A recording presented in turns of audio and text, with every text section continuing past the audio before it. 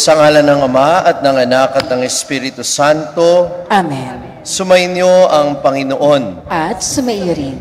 Mga kapatid, ialay natin ang misang ito para sa mga kapatid nating may karamdaman. Upang maging marapat tayo sa banal na pagdiriwang, pagsisihan natin ng mga nagawang kasalanan.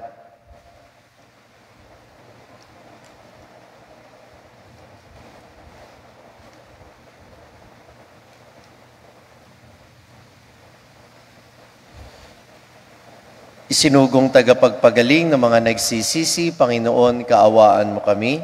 Panginoon, kaawaan mo kami. Dumating na tagapag-anyaya para makasalanay magsisi. Kristo, kaawaan mo kami. Kristo, kaawaan mo kami. Nakaluklok ka sa kanan ng Ama para ipamagitan kami, Panginoon, kaawaan mo kami. Panginoon, kaawaan mo kami. Kaawaan tayo ng makapangyarihan Diyos. Patawarin tayo sa ating mga kasalanan at patnubayan tayo sa buhay na walang hanggan. Amen. Manalangin tayo.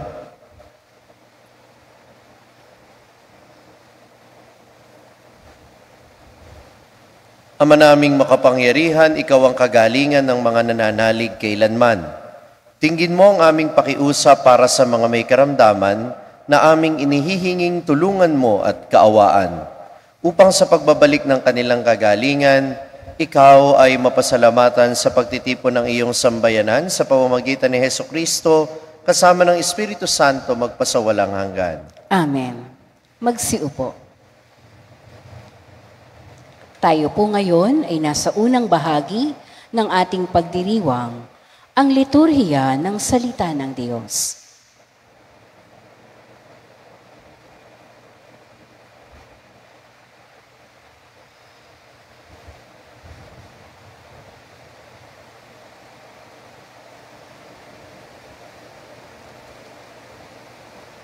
Ang salita ng Diyos mula sa sulat ni Apostol San Pablo sa mga taga-Efeso.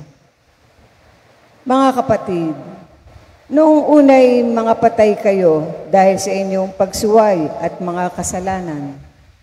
Sinunod ninyo noon ang masamang takbo ng sanlibutang ito at napailalim kayo sa prinsipe ng kasamaan. Ang espiritong nagkahari sa mga taong suwain Dati, tayo'y kabilang sa mga ito, namuhay ayon sa pita ng laman, at sinunod ang masamang hilig ng katawan at pag-iisip. Kaya't sa ating likas na kalagayan, kabilang tayo sa mga taong kinapopootan ng Diyos. Subalit napakasagana ang habag ng Diyos at napakadakila ang pag-ibig na iniuukol niya sa atin Tayo'y binuhay niya kay Kristo kahit noong tayo'y mga patay pa dahil sa ating pagsuway. Naligtas nga kayo dahil sa kanyang kagandahang loob.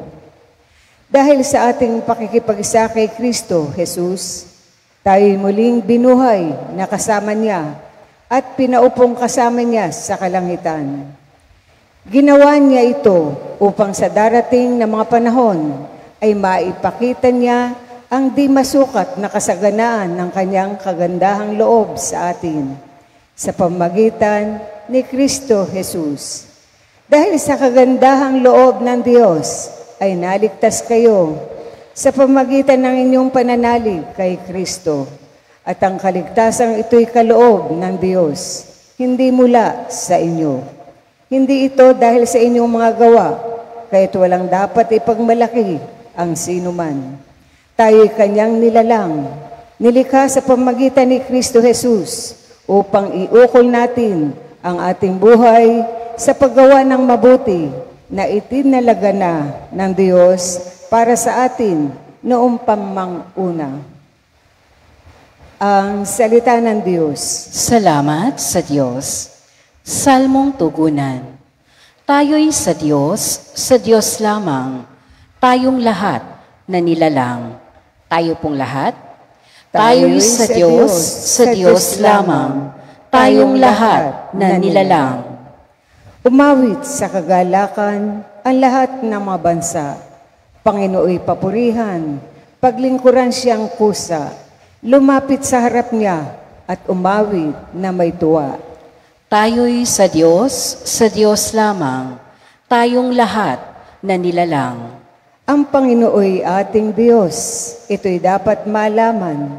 Tayo'y Kanya, Kanyang lahat, tayong lahat na nilalang. Lahat tayo'y bayan niya, kabilang sa Kanyang kawan. Tayo'y sa Diyos, sa Diyos lamang, tayong lahat na nilalang. Pumasok ka sa Kanyang templo na ang puso'y nagdiriwang, umaawit, nagpupuri sa loob ng dakong banal. Purihin ang ngalan niya at siya'y pasalamatan. Tayo'y sa Diyos, sa Diyos lamang, tayong lahat na nilalang. Mabuti ang Panginoon, pag-ibig niya'y walang hanggan. Siya'y Diyos na mabuti, laging tapat, kailanman. Tayo'y sa Diyos, sa Diyos lamang, tayong lahat na nilalang. Magsitayo at magbigay galang sa mabuting balita ng Panginoon.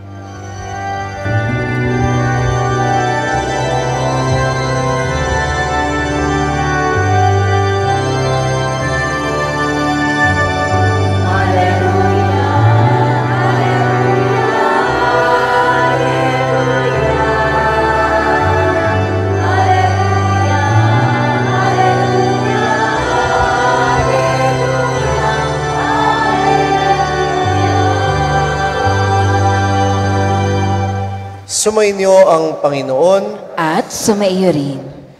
ang mabuting balita ng Panginoon ayon kay San Lucas. Papuri sa iyo, Panginoon. Noong panahong iyon, sinabi kay Jesus ng isa sa mga tao, Guro, iutos nga po ninyo sa kapatid ko na ibigay sa akin ang bahagi ko sa aming mana. Sumagot siya, Ginoo, sino ang naglagay sa akin bilang hukom o tagapaghati ng mana ninyo? At sinabi niya sa kanilang lahat, Mag-ingat kayo sa lahat ng uri ng kasakiman, sapagkat ang buhay ng tao ay wala sa laki ng kayamanan. At pagkatapos ay isinaysay ni Jesus ang talinghagang ito. Ang bukiri ng isang mayaman ay umani ng sagana. Kaya't nasabi niya sa kanyang sarili, ano ang gagawin ko? Wala na akong paglagyan ng aking ani. Ah, gigibayin ko ang aking kamalig at magtatayo ako ng lalong mas malaki. Doon ko ilalagay ang aking ani at ari-arian at sasabihin ko sa aking sarili, Ayan, marami na akong ari-arian. Hindi na kayo, hindi na ako kukulangin habang buhay. Kaya't mamahinga na lang ako, kakain, iinom at magsasaya.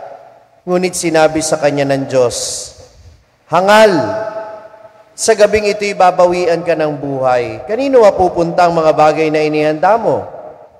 Ganyan ang sasapitin ng nagtitipon ng kayamanan para sa sarili, ngunit dukha naman sa paningin ng Diyos. Ang mabuting balita ng Panginoon.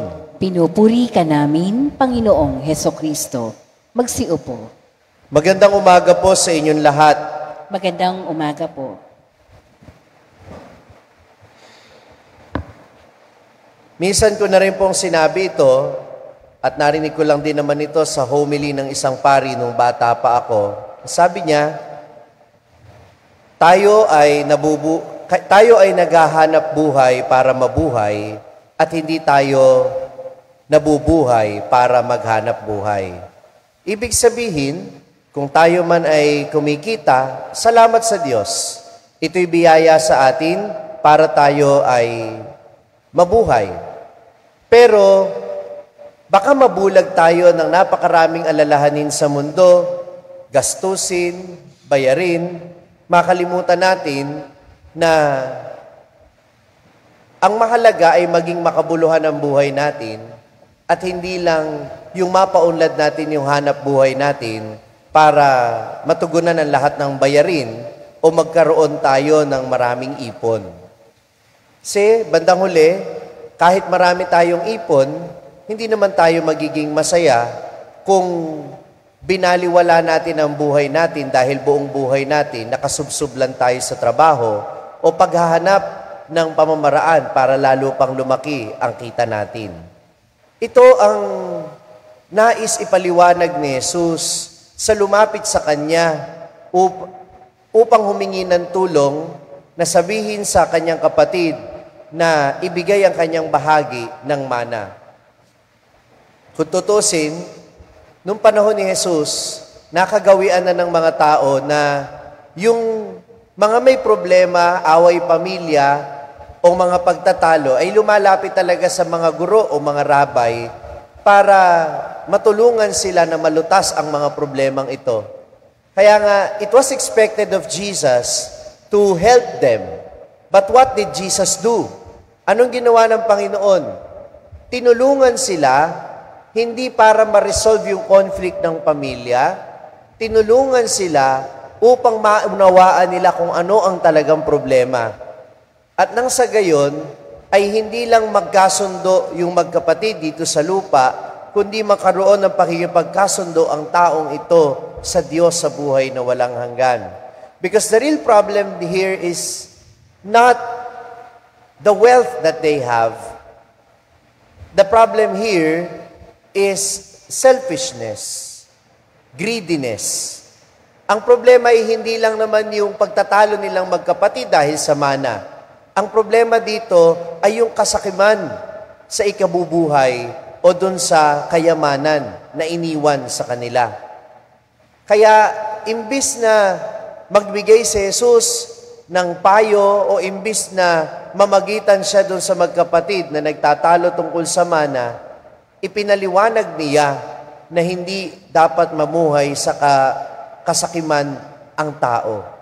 At gumamit siya ng isang kwento para isalarawan ito. Isang tao na kumikita ng malaki, pero hindi na kontento, kaya gusto niyang palakihan pa at yung kanyang kamalig, yung lugar kung saan niya iiimbak ang kanyang kayamanan, pero kalaunan, namatay din. At ang sabi ng Panginoon, hangal, saan mo ngayon gagamitin lahat ng pera mong yan? Minamahal ko mga kapatid na kalulungkot isipin.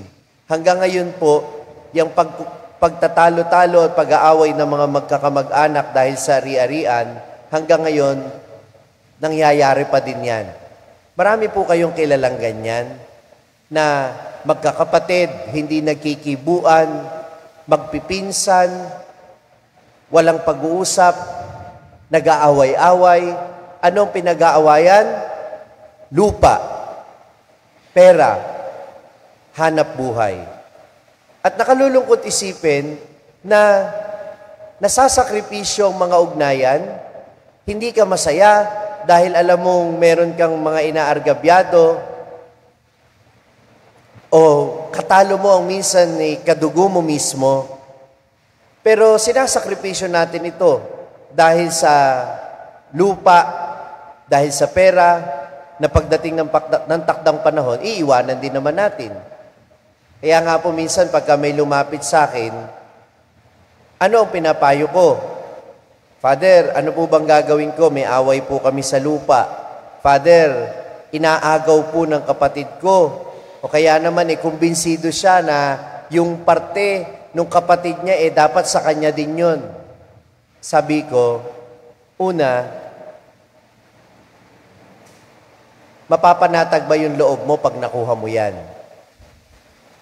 Pangalawa, aanhin mo ba? Katumbas ba yan ng kaligtasan ng kaluluwa mo? Pangatlo, mas matimbang ba yan sa ugnayan mo sa kapamilya mo? Pang-apat, bakit ka sa akin lumalapit? Hindi ako abogado. At siguro ganun din ang punto ni Jesus. Hindi siya naparito sa mundo para mamagitan lamang sa mga mga mga problema nating makamundo. Kuminsan, bago tayo lumapit sa Diyos, tingnan muna natin. Ito bang concern natin ay may kinalaman sa kaligtasan natin? O itong concern natin na inilalapit sa Kanya, eh lalo lang magpapalalim ng pagiging makamundo natin. Tandaan natin na ang punto ng paglapit natin kay Jesus ay hindi lang para solusyonan yung mga problema nating makamundo. Ang dapat na inilalapit natin kay Jesus ay kung paano tayo mas mapapalapit sa langit. Kung paano tayo mapagkakasundo, hindi lang dito sa lupa, kundi sa ating Diyos. Dahil bandang huli, lahat ng lupang pinag-aagawa natin, iiwanan lang natin yan.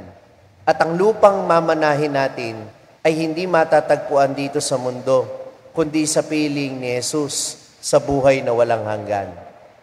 At bago pa tayo makalimot, bago tayo bawian ng buhay, sana maging malinaw sa atin na ito ang punto ng buhay. Hindi ang magkamal, kundi ang magmahal. Aanhin ang kayamanan kung punong-puno ka naman ng kalungkutan at hindi panatag ang iyong kalooban. Tandaan,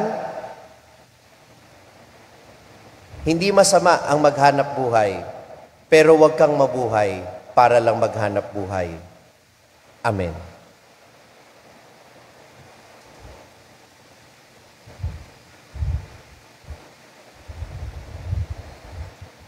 Magsitayo. May pananalig sa walang, na, na walang, sa walang maliw na pagkalinga ng Diyos sa atin. Buksan natin ang ating puso nang higit nating maunawaan ang mga bagay na dapat nating pahalagahan sa buhay. Panginoon, dinggin mo ang aming panalangin. Panginoon, dinggin mo ang aming panalangin. Ang Santo Papa, mga obispo, mga pari at mga relihiyoso naway patuloy na ipadama ang presensya ni Kristo sa buong daigdig sa pamagitan ng simpleng pamumuhay. Manalangin tayo sa Panginoon. Panginoon, dinggin mo ang aming panalangin. Ang katarungan at pagkakapantay-pantay naway maisulong sa pamagitan ng mga pagbabagong politikal, panlipunan at pangkabuhayan. Manalangin tayo sa Panginoon. Panginoon, dinggin mo ang aming panalangin. Tayo naway maging sensitibo sa mga hindi nakaaangat sa buhay at matuto tayong magbahagi ng ating yaman sa mga dukha. Manalangin tayo sa Panginoon. Panginoon, dinggin mo ang aming panalangin. Ang mga may sakit at mga nagdurusa, naway makadama ng kayamanan ng presensya ng Diyos sa kanilang buhay. Manalangin tayo sa Panginoon. Panginoon, dinggin mo ang aming panalangin. Ang mga yumao, naway biyayaan ng awa ng Panginoon, ng liwanag, kapayapaan, at kapahingahan walang hanggan. Manalangin tayo sa Panginoon. Panginoon, dinggin mo ang aming panalangin. Isama natin sa ating panalangin ang intensyon ng mga nagpamisa at idulog natin sa Panginoon ang ating mga kahilingan.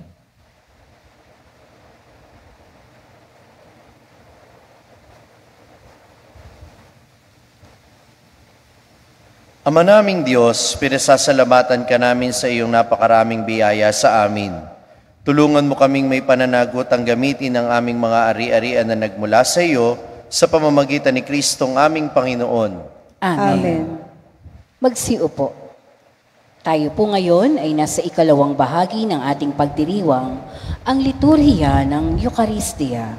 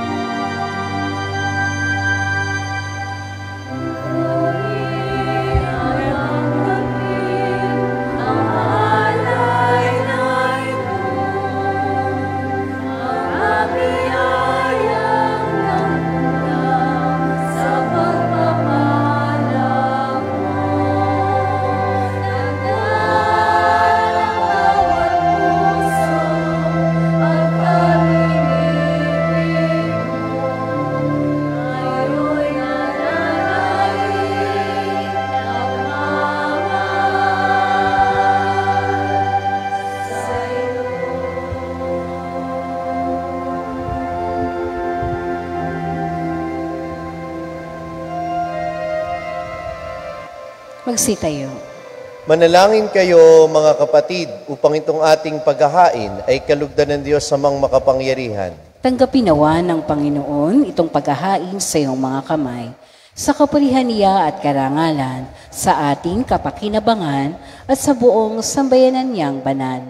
Ama naming lumikha, lahat ng nangyayari sa aming buhay ay nasa iyong panukala. Kaya tanggapin mo ang mga alay namin at pitaya para sa mga kapatid naming sa sakit ay nagdaralita.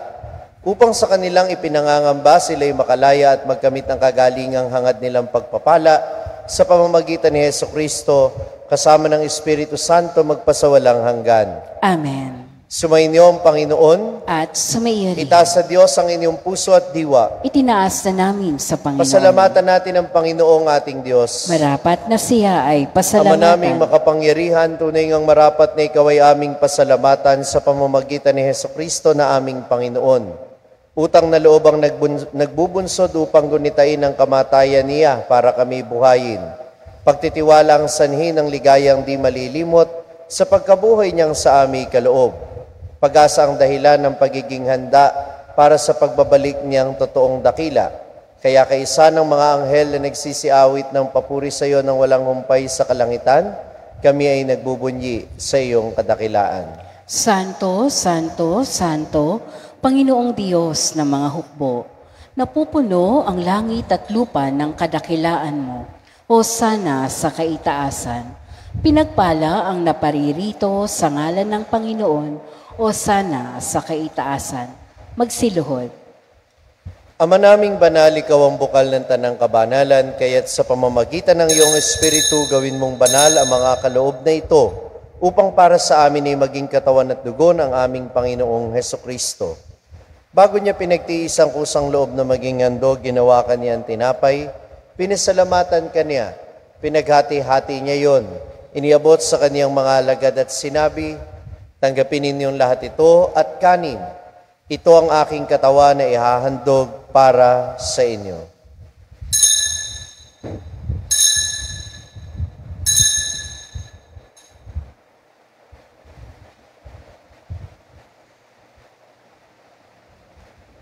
Gayun din naman, nung matapos ang hapunan, hinawakan niya ang kalis, muli kanyang pinasalamatan.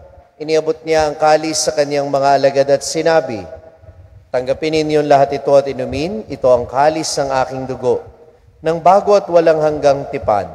Ang aking dugo na ibubuhos para sa inyo at para sa lahat, sa ikapagpapatawad ng mga kasalanan, gawin ninyo ito sa pag-alala sa akin.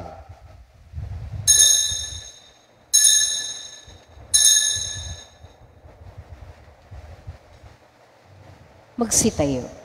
Ipagbunyi natin ang misteryo ng pananampalataya. Si Kristo ay namatay, si Kristo ay muling nabuhay, si Kristo ay babalik sa wakas ng panahon. Ama, ginagawa namin ngayon ang pag-alala sa pagkamatay at maling pagkabuhay ng iyong anak.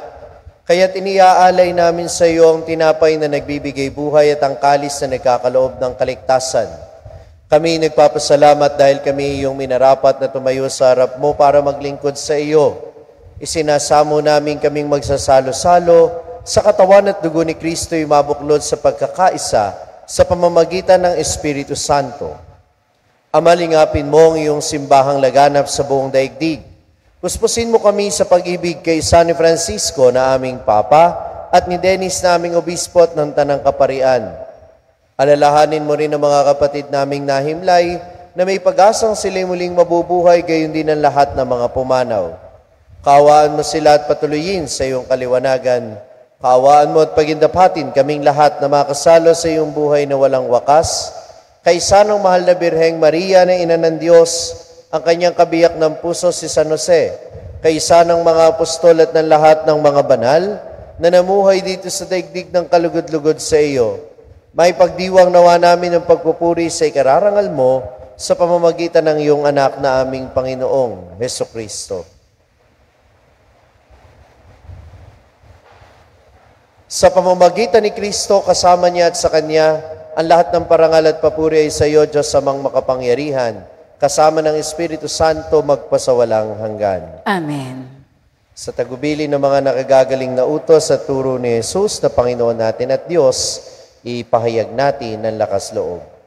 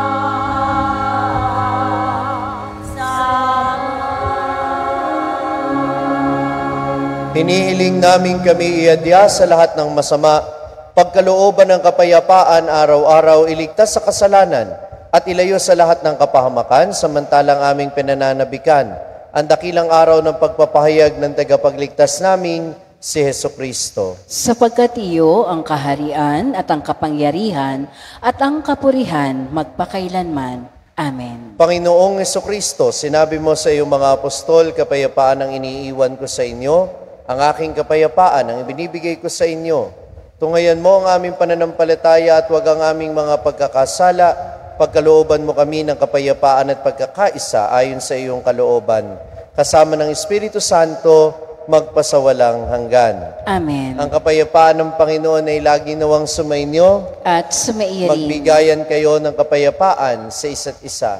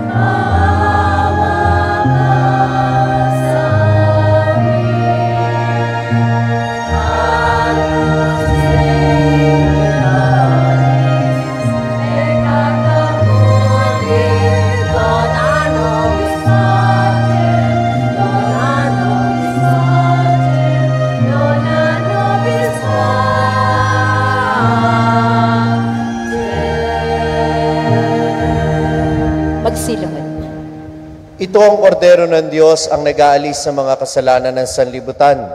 Mapalad ang mga inaanyayahan sa kanyang piging.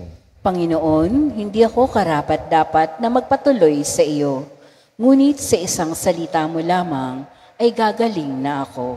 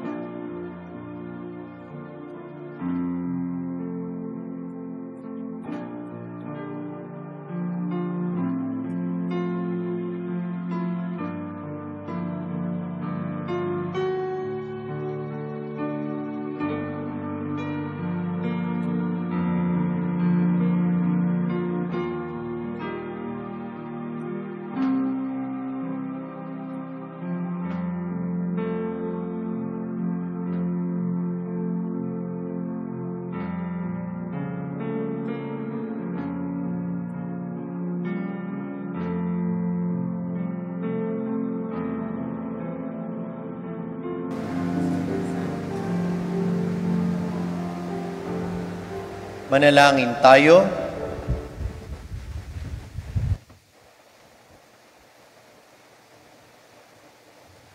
Ama naming mapagmahal, ikaw ang tanging lakas na umaalalay sa aming kahinaan.